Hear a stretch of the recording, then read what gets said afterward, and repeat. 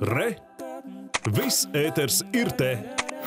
Šogad vairāk nekā divas reizes pieauguši pašvaldības uzņēmuma Rīgas meži tēriņi par atkritumu, kas atrasti un savākt galvaspilsētas mežos nodošanu.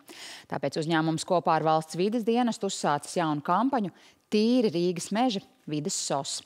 Pērn astoņos mēnešos Rīgas mežos savākto atkritumu nodošanai tērēti nepilni 50 tūkstoši eiro. Šogad līdz augusta beigām jau 108 tūkstoši. Šādu piesārņotu mežu galvaspilsētas apkaimēs ir neskaitām daudz, norāda Rīgas mežu speciālisti. Turklāt valsts vides dienesta lietotnē vides sos šogad jau saņemts rekordliels ziņojums skaits par piemēslotiem mežiem.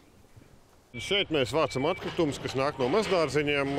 Visticamāk, pēc tā satura, ko mēs redzam, tur jau ir mēbeles kaut kādas ir bijušas, ir pudeles, ir trauki. Būtībā liela daļa no tā ir arī šķirojamie atkritumi, ko varētu, varētu cilvēki nodot bez maksas.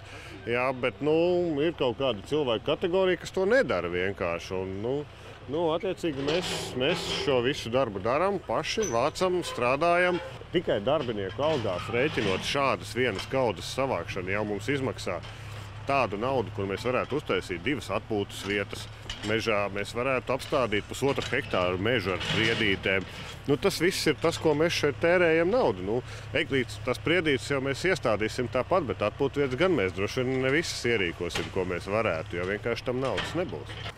Vairāk nekā puse mežos atrasto grūžu ir sadzīves atkritumi, būvgruži un nolietotās riepas, kas vidē rada milzu kaitējumu. Rīgas meža arī norāda, ka jāmaina sodu sistēma. Daudz viet uzstādītas novērošanas kameras, kas ļauj piemēslotājus noķert pie rokas, taču sots vidē ir vien 50 eiro, kas pēc speciālistu teiktā ir pārāk mazs.